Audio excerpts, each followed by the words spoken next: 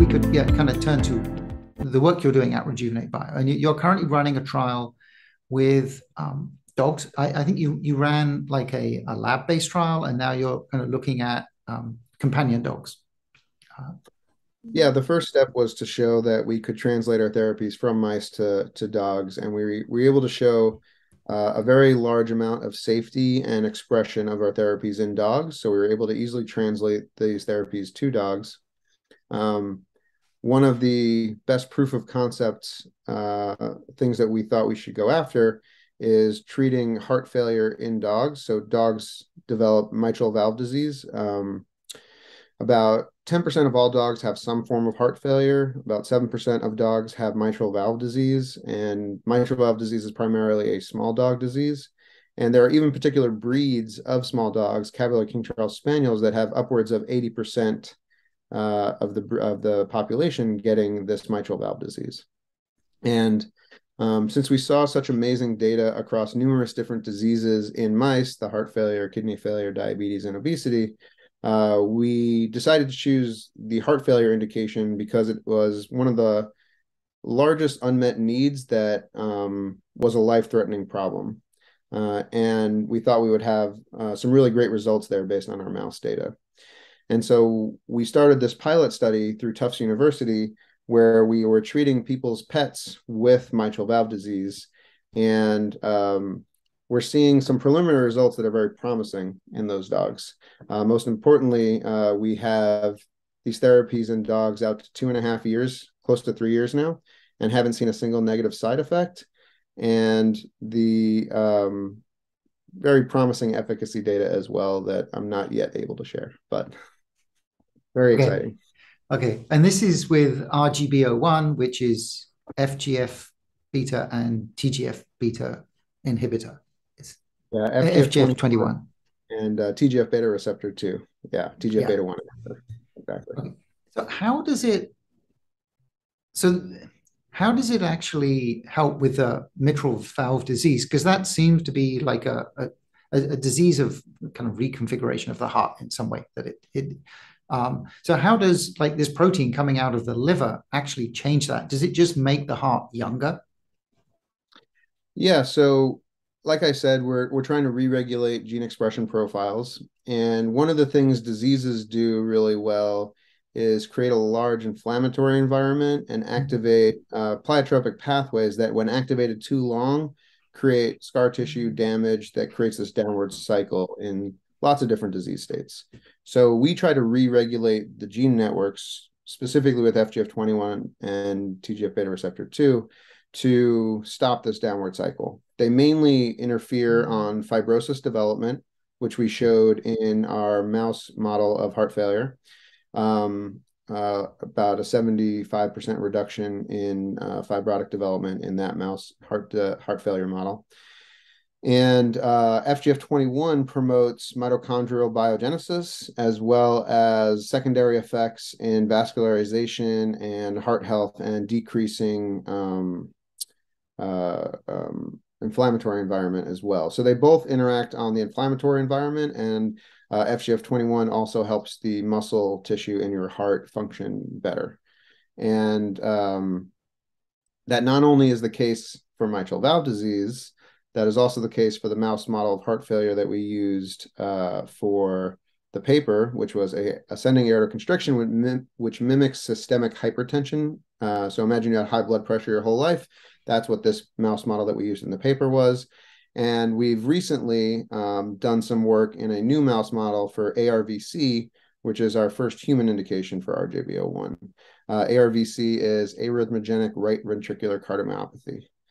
And so if you see these young people on basketball courts um, falling dead from their heart stopping, that's most likely this disease. Uh, the they have misfirings and arrhythmias in their hearts that um, confuses the heart, and, and sometimes it can have this sudden cardiac arrest situation. And so uh, ARVC, MVD, mitral valve disease, and uh, ascending aortic constriction, the systemic hypertension, they're all three very different diseases with very different etiologies, but they all have similar underlying pathologies in that they get lots of fibrosis, have an inflammatory environment, have a lot of damage, and the heart eventually re, uh, tries to compensate and can't, and uh, eventually uh, has heart failure.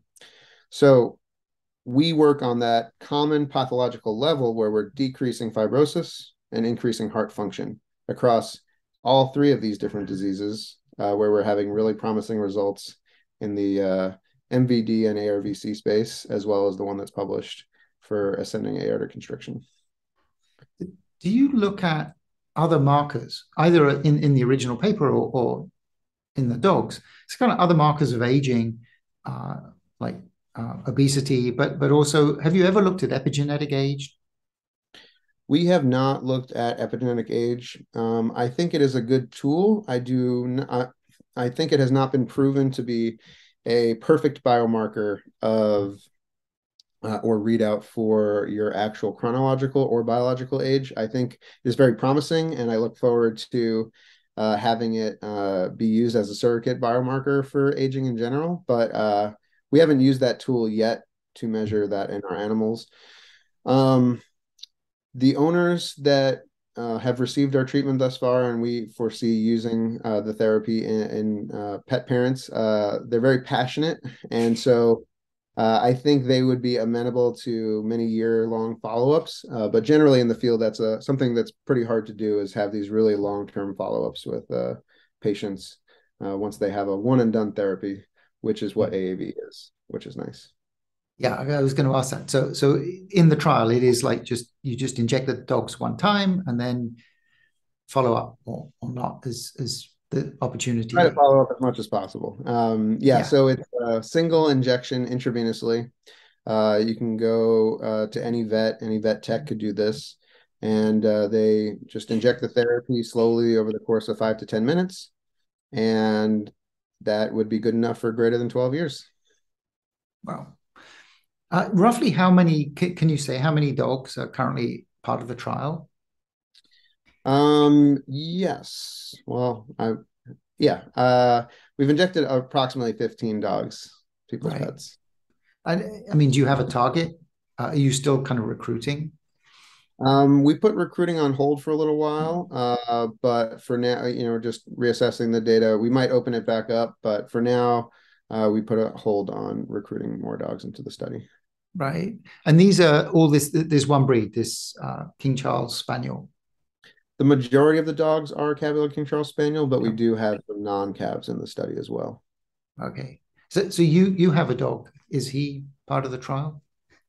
No, I I did have I did have a dog. Oh, uh, oh, really? He passed, passed away oh. last year. Um, he had a different genetic disease, uh, degenerative myelopathy. So it was very unfortunate. Oh, okay. Um, okay. And oh, so when do you see that for for animals this would become like a commercially available uh, therapy? Yeah, that's a great question. Um, we're aiming to be on the market in 2024, conditionally approved.